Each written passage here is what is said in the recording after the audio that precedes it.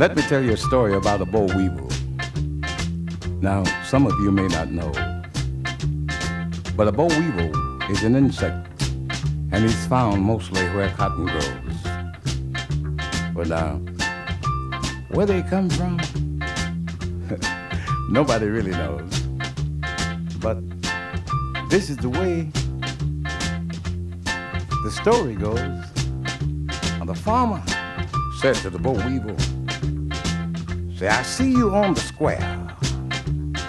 The boll weevil said to the farmer, Say, Yep, my whole darn family's here. We gotta have a home.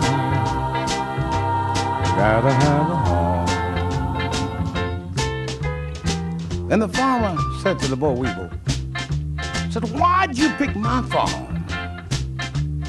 And the boll weevil just laughed at the farmer and said, Well, we ain't gonna do you much harm, but we're looking for home. home, home. Then the boll weevil spotted him a lightning bug. And he said, Hey, I'd like to make a trade with you. Because you see, if I was a lightning bug, say, oh, I'd search the whole night through, just searching for home. Oh, I'd have me plenty of homes. Then the boll weevil called the farmer and said, You better sell your old machines, because when I'm through with your cotton, so you can't even buy gasoline. I'm going to take me a home. You gotta have a home.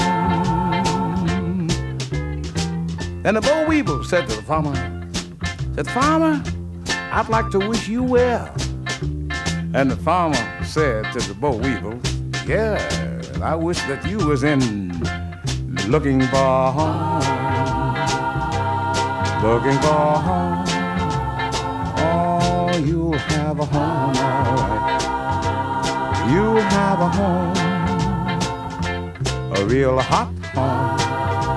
Oh, you'll have a home.